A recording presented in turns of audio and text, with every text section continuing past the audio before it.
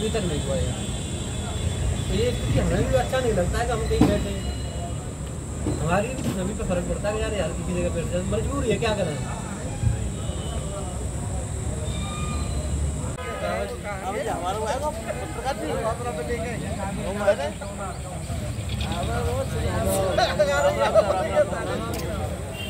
हरपल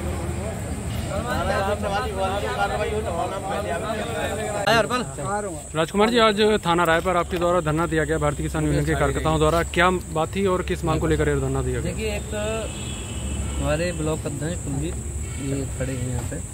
इनका किसी से वाद विवाद हो गया था, दोनों पक्षों को बंद कर दिया था। एक तो इक्यावन की गई थी।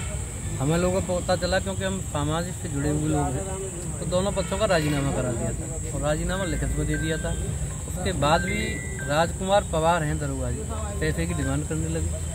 तो इनको डराया, धमकाया, इनको नोटिस दिया तो इसको लेके आज धरना प्रदर्शन किया गया है कि राजीनामा में कब से पैसे लगने लग भाई, पुलिस हो या कोई समाज सुधारक हो, राजीनामा जब होता है, ये तो यूपी सरकार भी कह रही है और यहाँ के जितने सीरियस जज हैं वो भी कहते हैं कि राजीनामा सबसे बढ़िया होता है। राजीनामा करना चाहिए राजीनामा अगर निपट जाते हैं छोटे मोटे के स्थानों से तो करना चाहिए।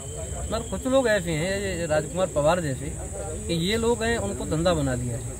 कितने पैसों की मांग की गई? बीस हज़ार रुपए की मांग की गई थी। तो हम सब कार्यकर्ता इकट्ठे करके चंदा करके बीस हज़ार रुपये लेके आए थे भाई हम दे रहे हैं आप लोग। मगर सीनियर अधिकारी आए हैं और सी साहब भी आए हैं सीनियर अधिकारियों के फ़ोन भी आए हैं। पूरा आश्वासन है और हमें उम्मीद है, ऐसी बात नहीं है कि जो अधिकारी हमसे आश्वासन दिया है, वो उस पर खड़ा उतरेंगे। यदि ये नहीं उतरते हैं तो इसके बाद में अभी तो ये ब्लॉक राय की जो बैठक के जो पदाधिकारी थे वही बैठे हैं। फिर पूरे मथुरा जनपद के स्थानीय में बैठे आपकी मांग क्या थी और आश्वासन क्या दिया देखिए हमारी मांग एक तो ये है कि ये दरोगा जी का ट्रांसफ़र होना चाहिए यहाँ से इन जैसे दरोगाओं ये समाज को खराब कर रहे हैं तो इनकी ज़रूरत नहीं है। और जो मुकदमा है उसमें जब दोनों पक्षों का राजीनामा है उनमें चार्जशीट न लगा के उसकी एफ़ लगनी चाहिए। यदि एक हफ़्ते में नहीं होता है हम ये नहीं कह रहे कि आज ही कर दो, कल कर दो एक हफ़्ते में नहीं होता है। तो पूरे जनपद मथुरा की टीम यहाँ बैठेगी, किसान बैठेंगे।